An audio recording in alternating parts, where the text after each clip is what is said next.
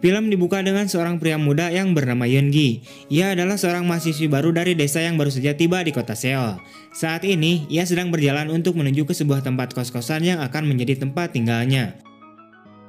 Setelah sampai di kosan tersebut, Yeongi kemudian memanggil-manggil pemilik kosan itu, akan tetapi tidak terdengar jawaban.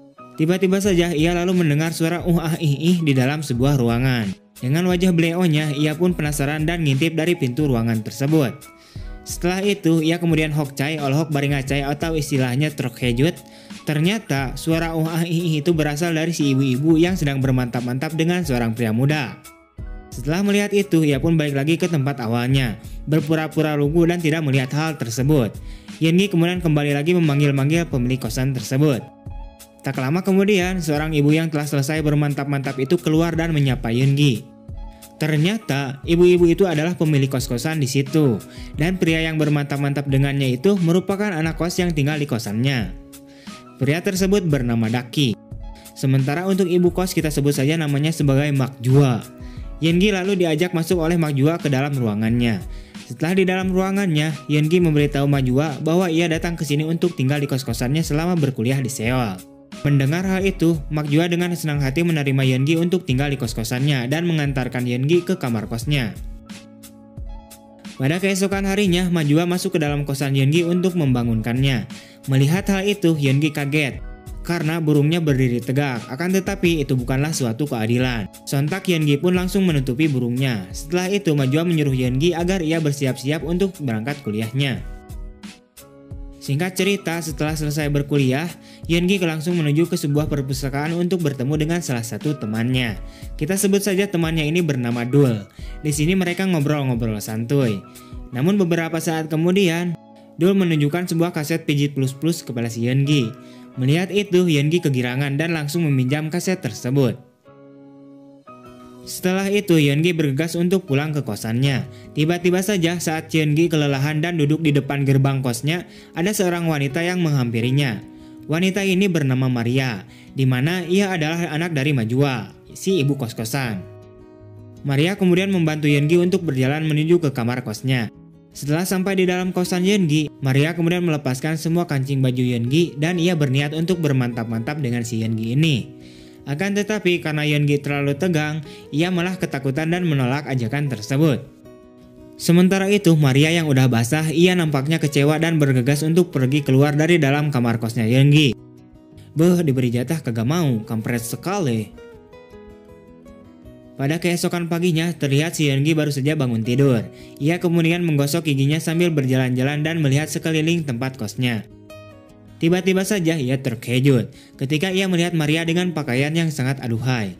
Ketika melihat itu, burungnya berontak lagi, namun yang pasti ini adalah keadilan. Ia kemudian bergegas menuju ke kamar kosnya. Setelah itu, Hyungi agak kesusahan untuk memakai celana lepisnya karena burungnya masih berdiri dengan tegak. Beberapa saat kemudian, tiba-tiba saja Majua masuk ke dalam kosan Hyungi. Ia berniat untuk mengambil pakaian kotor di kosan Hyungi. Sontak Yengi pun kaget dan langsung menutupi sarang burungnya dengan tangannya. Saat Majua ingin mengambil baju-baju kotornya, secara tak sengaja Yengi melepaskan tangannya yang menutupi burungnya Ichiu. Akhirnya, Majua melihat burung Yengi yang sedang berdiri dengan tegak.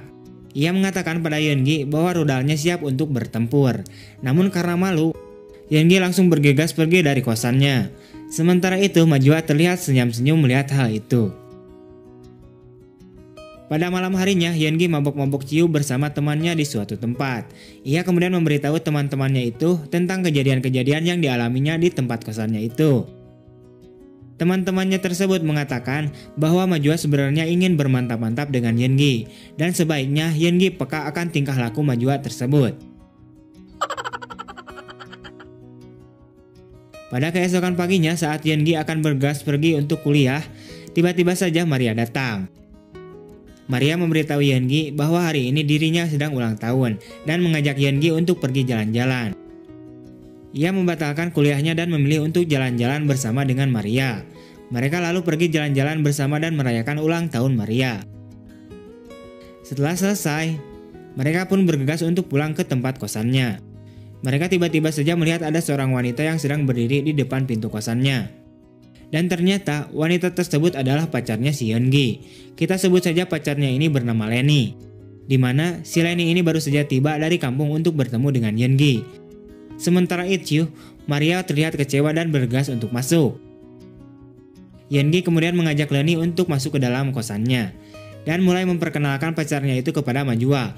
Namun di sini nampaknya Majua tidak suka kepada Yeongi atas tindakannya itu. Setelah itu, Yeongi pun masuk ke dalam ruangan kosannya.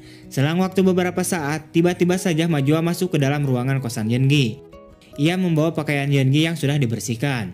Lalu Majua menyuruh Lenny untuk ikut tidur bersamanya. Pada keesokan paginya, terlihat Lenny yang sedang cuci muka. Tiba-tiba saja Daki menyapa Lenny dan ia mengatakan padanya bahwa ia adalah temannya si Yeongi. Dan dengan kampretnya, ia malah ngajak pacarnya Yeongi untuk jalan-jalan melihat ramainya kota. Sementara itu, Yeongi hanya diam saja tanpa berkata apa-apa. Pada akhirnya mereka pun jalan-jalan di suatu keramaian di kota. Setelah itu mereka kemudian duduk di suatu tempat yang sepi. Di sini, Sidaki dengan rasa gregetnya, ia berniat menyasar Liang Cipapang si Leni. Akan tetapi Leni menolaknya dan berhasil melawan Sidaki sampai terjatuh.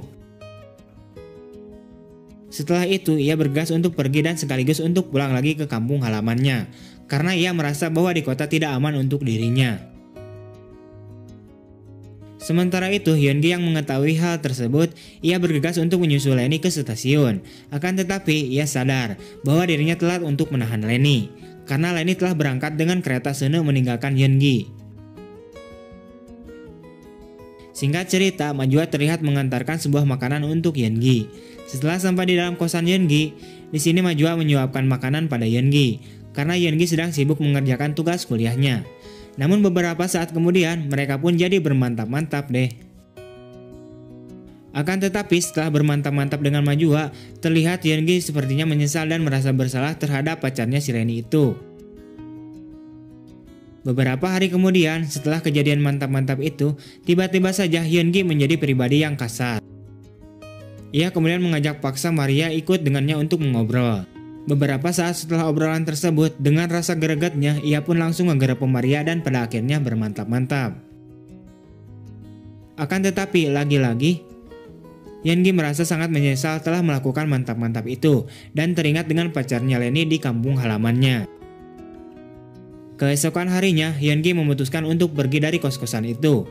Ia berniat untuk pulang ke kampung halamannya untuk menemui Leni. Singkat cerita, ia tiba di kampung halamannya dan bertemu dengan Lenny.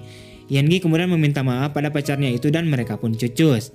Dan juga film pun tamat. Oke wah terima kasih telah menonton sampai jumpa di video-video berikutnya. Kurang lebihnya mohon maaf. See you next time and bye bye.